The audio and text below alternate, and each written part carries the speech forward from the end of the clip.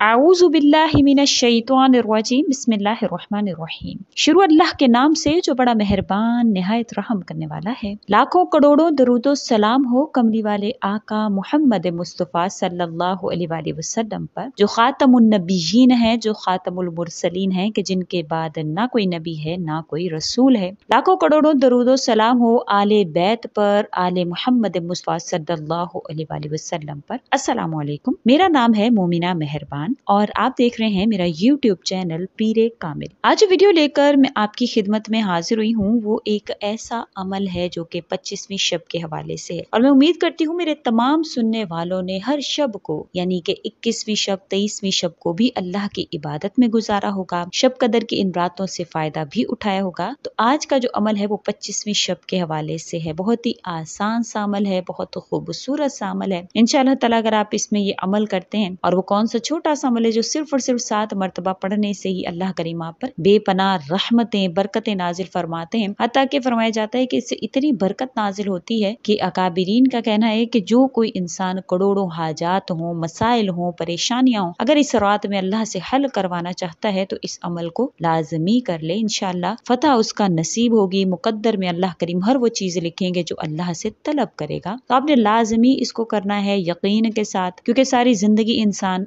सोकर गुजार देता है। चंद लम्हात होते हैं जो खुदा को राज़ी करने के, अल्लाह को राज़ी करने के लम्हात हैं। क्योंकि ये दुनिया फानी है। हर इंसान को ये दुनिया में अल्लाह करीम ने एक मौका दिया है। अगर हम ज़िंदा हैं, साँसें चल रही हैं तो मौका दस्तयाब है। फ़ौरन से उसको कैश करें, अल्लाह करीम से इल्तजा करें, दुआएँ करें और आमाल करें, अल्लाह के आगे झुकें, सजदा करें, आमाल करें, अल्लाह से मांगे, जैसा हो सकता है मांगे, दुनिया भी मांगे, आखरत भी मांगे, क्योंकि अल्लाह करीम ने मना नहीं फरमाया। कुछ लोग ऐसे होते हैं जो कहते हैं, दुनिया को छोड़ ही दो। बेशक दुनिया है इस काबिल कि उसमें इतनी तवज्जो ना दी जाए या इतना ना घुसा जाए, क्योंकि हमने रहना तो इसमें मुख्तसर से अरसे के लिए है। लेकिन अल्लाह करीम की याद में इसको गुजारा जाए तो ये दुनिया भी अल्लाह अल्लाह ताला जो है वो आपके लिए खुशखबरियों वाली, रहमतों वाली और अल्लाह करीम इसके लिए नेमतों वाली बना देते हैं और आखरत में भी आपके अमाल को मकबूल फरमाते हैं। वीडियो ज़िक्र करने से पहले मैं आपसे रिक्वेस्ट करना चाहूँगी कि अगर आप मेरे चैनल पर नए हैं या मुझे पहली मरतबा सुन रहे हैं तो मेरे चैनल को सब्सक्राइब ज़रूर कर दें और अगर आप मजीद अपडेट्स हासिल करना चाहते हैं तो सब्सक्राइब के बटन के साथ जो बेल नोटिफिकेशन का बटन है उसको ज़रूर प्रेस करें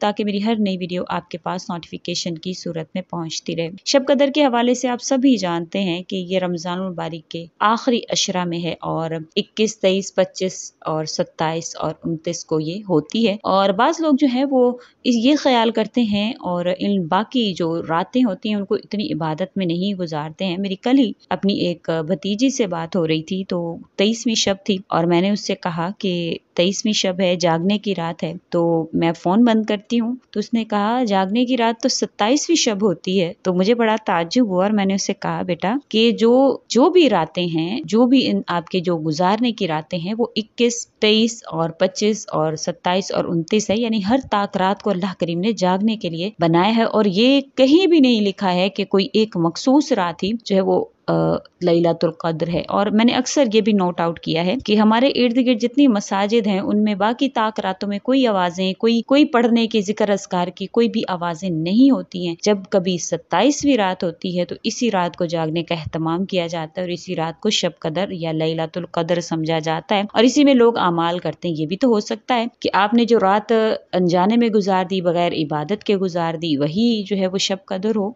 तो हर रात को जाग कर गुजारें। पाँच तो रातें हैं सिर्फ़। और पूरे साल में ये पाँच रातें अगर हम जाग देंगे अल्लाह की खातिर तो हमारे बड़े बड़े मसाइल अल्लाह करीम हल फरमाएँगे। मेरी एक फ्रेंड है, जिसका नाम उस्मा है, वो कहती है कि उनको बड़ा शौक था कि उनको शब कदर मिल जाए। तो इसी तरह से वो पच्चीसवीं शब, पिछले साल की पच्चीसवीं शब को वो जाग रही थी और नवाफिल वगैरह अदा कर रही थी, क्योंकि बाज लोगों को किसी को किसी तरह से मिलती है ये शब, किसी को किसी तरह से मिलती है। तो वो कहती है कि एकदम से जब मैं जाए नमाज़ पर बैठी नवाफिल अदा करने के बाद मैं दरूदो सलाम पढ़ रही थी तो क्योंकि कोशिश यही किया करें नवाफिल अदा करें तो उसके बाद दरूदो सलाम का नजराना नबी करीम सल्लल्लाहु अलैहि वसल्लम पर ज़रूर भेजा करें। तो वो कहती है, मैं बैठी हुई थी, दरूदो सलाम का नजराना पेश करी थी, एक एकदम से मुझे महसूस हुआ कि सामने से दीवार हट गई है। और सामने से दीवार हटी है और मैं खाना काबा के सामने बैठी हुई हूँ और खाना काबा के गिलाफ को मैंने छुआ है। वो कह रही, मैं हकीकत में यहाँ थी, लेकिन मैं खाना काबा के गिलाफ को हाथ लगा पा रही थी। क्योंकि हम नहीं जानते हैं किस तरह से ये रात आपको मैसर आ जाए, आपको मिल जाए। अल्लाह करीम अपने नेक बंदों को ये रात जो है वो इस तरह से दिखा भी देते हैं। तो जागा करें, अल्लाह के लिए, अल्लाह के लिए इबादत किया करें, क्योंकि मेरी जो वो दोस्त है उजमा वो बहुत ही नेक खातून है और हर दिन तकरीबन वो उनकी कोशिश होती है कि सलात तस्बीह का अहतमाम करें और हर हफ़्ते में जो दो रोज़े नबी करीम सल्लल्लाहु अलैहि वसल्लम ने पीर और जुमेरात का बतलाया, वो भी वो रखती हैं। तो इसी तरह से मतलब नेकी की अलामत जो है, वो उन शख्स पर जल्दी ज़ाहिर होती हैं या अल्लाह करीम उनको ऐसी चीज़ें दिखाते रहते हैं जो अल्लाह के करीब होते हैं। तो वो कहती है कि मैं वो रात अब भी याद करती हूँ तो वो पच्चीसवीं शब थी, वो सत्ताईसवीं शब नहीं थी या वो तेईसवीं, इक्कीसवीं कोई भी शब हो सकती है। तो इसलिए हर रात को जागने का, यानी हर ताक रात को जाग कर उसको इबादत में गुजारने का अहतमाम ज़रूर किया करें, क्योंकि इस रात में ऐसे इनाम इकराम मोमिन पर होते हैं। अल्लाह करीम जब्राईसलाम की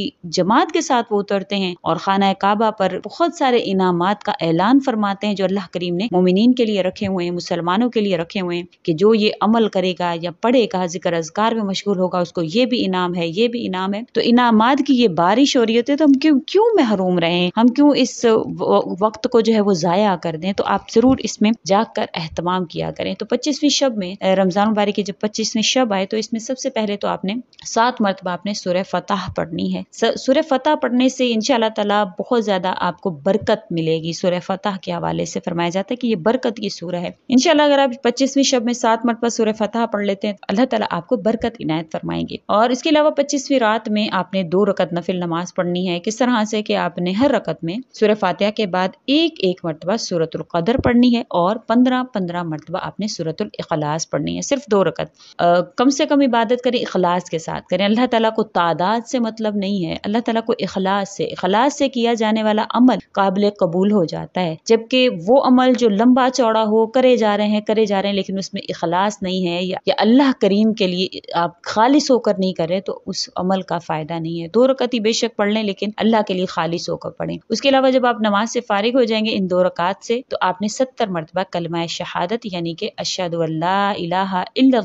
अशद मोहम्मद अब्दू व रसूल को आपने पढ़ना है। इन ताला इसके करने से अल्लाह करीम आपको कबर के अजाब से निजात देंगे। और रमज़ान मुबारक की पच्चीसवीं रात को अगर आप चार रकत नफिल, दो अगर आप पढ़ना चाहें तो दो कर लें। और चार रकत अगर आप पढ़ते हैं, किस तरह से कि हर रकत में आपने सूरत फातिहा के बाद एक एक मरतबा आपने सुर कदर पढ़नी है और पाँच पाँच मरतबा आपने सूरत इखलास पढ़नी है। और इसी तरह से आपने नमाज़ से जब आपकी चार रकात मुकम्मल हो जाएँ तो आपने एक सौ मरतबा कलीमा तय्यबा, यानी कि ला इलाहा मुहम्मद रसूलुल्लाह को आपने पढ़ना है। इन ताला आपको इसके पढ़ने से सवाब अजीम हासिल होगा। और पच्चीसवीं रात को ही अगर आप सात मरतबा सूर्य दुखान पढ़ लेते हैं तो अल्लाह करीम आपको अजाब कबर से महफूज फरमाएँगे। तो मैंने आपसे ये अमाल जो ज़िक्र किए हैं, आपने इसको पढ़ना है। पढ़ने के बाद अल्लाह करीम से दुआ करनी है। इन ताला आपके घर में रहमतें होंगी, बरकतें होंगी। अल्लाह ताला आपको हर वो चीज़ अता फरमाएँगे, जिसका आप अल्लाह से सवाल करेंगे तो मैं उम्मीद करती हूँ कि आप मेरी बातों पर अमल भी करेंगे और जो बातें आपसे,